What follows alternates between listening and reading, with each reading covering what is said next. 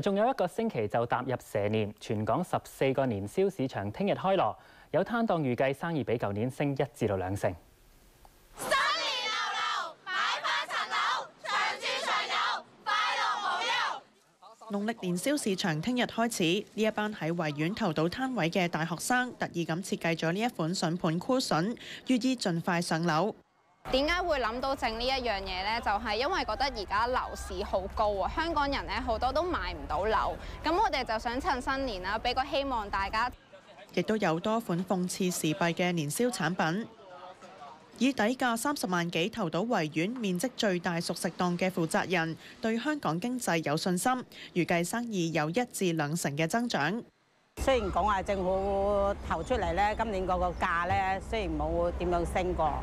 但係都希望睇下可唔可以比理想之中咯，希望有一兩成啊！